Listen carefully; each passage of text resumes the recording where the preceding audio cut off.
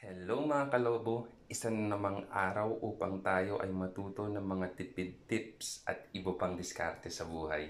So, today guys, tuturuan ko kayo kung paano gamitin ang SSS mobile app. So guys, kung wala pa kayong SSS mobile app, available siya sa App Store or Play Store. Okay? So, simulan na natin guys.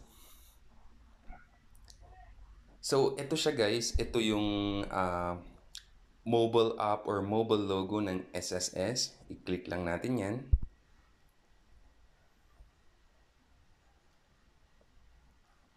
Okay.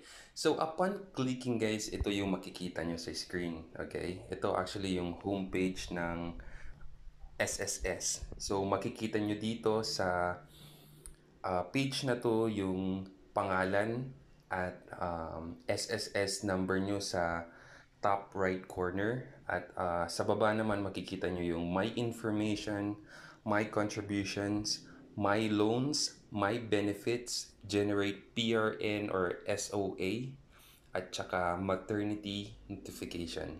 So, simulan natin guys dito sa my information. Okay? Click natin yan.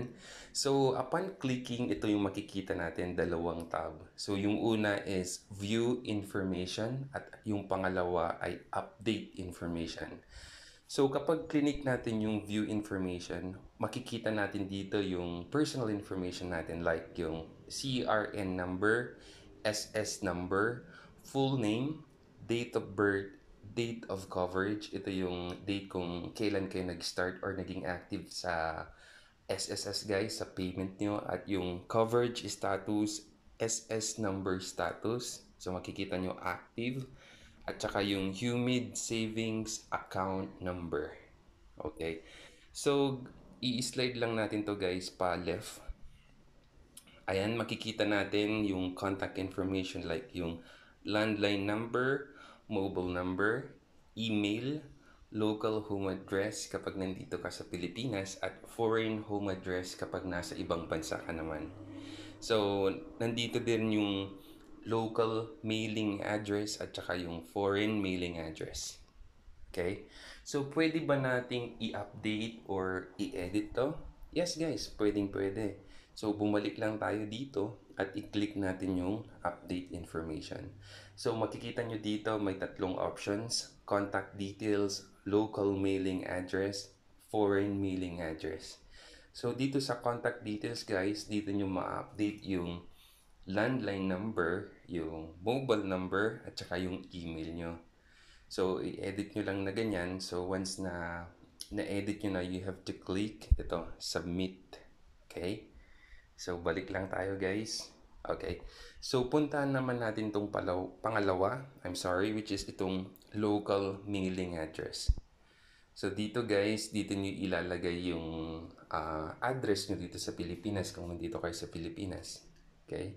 So, ilalagay nyo dyan yung room, floor, unit number, and building name. Pangalawa, yung house number nyo, lot and block number, yung street, yung subdivision, at saka ilalagay nyo din kung nasa Metro Manila kayo or outside of Metro Manila. Okay? Okay. So, after nyan, uh, may third option din tayo which is yung foreign mailing address.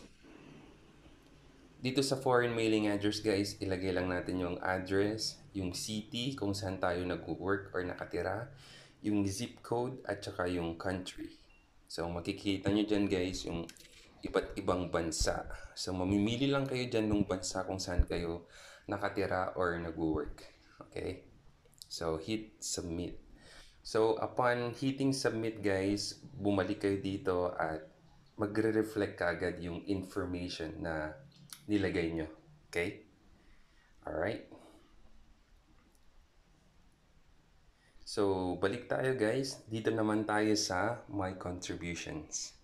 So, obviously, dito nyo makikita yung uh, total number of contributions posted. Ito yung buwan, guys. So, kung makikita nyo, may 36 months na ako. So, next month, guys, pwede na akong mag-salary loan. Abangan nyo yan, okay?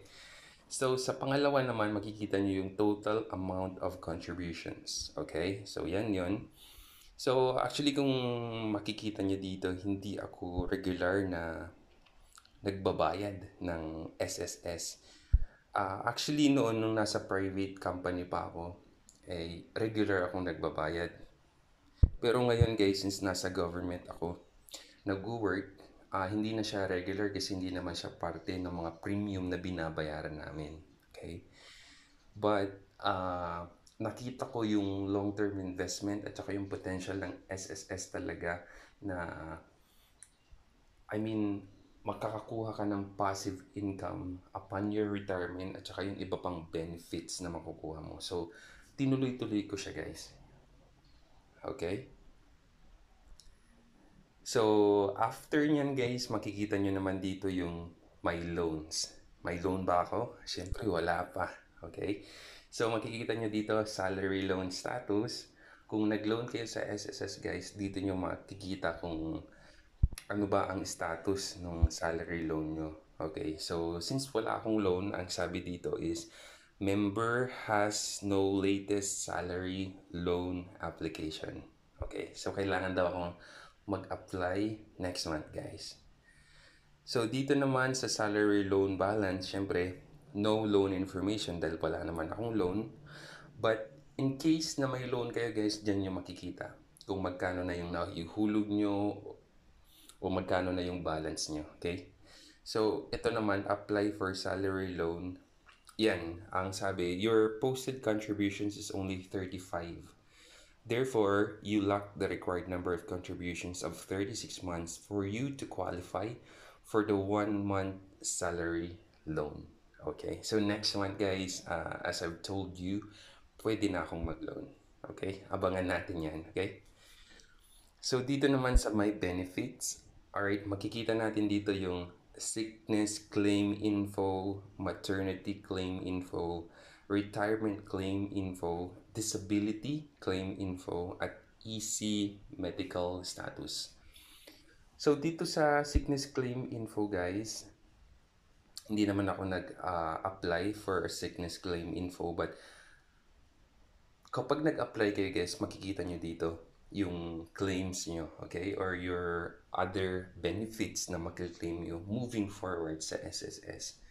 Ito, maternity claim info kapag meron kayong misis na nanganak, okay? Or buntis kayo, mga anak kayo, pwede kayong mag-apply for a maternity claim info. Makikita nyo rin dito yung, syempre, itong retirement claim info, itong disability claim info, at ito nga, EC medical status. Okay, so balik tayo sa main page guys. Dito naman, ito, importante ito guys, yung itong generate PRN or SOA. Okay, PRN stands for Payment Reference Number. So actually dito ako nag-generate guys uh, last month kasi pumunta ako sa field office ng SSS to ask kung pwede ba akong maghulog or pwede ko bang ituloy yung paghuhulog ko. Ang sabi nila, yes. Ang tinanong ko, how much naman ang pwede kong ihulog?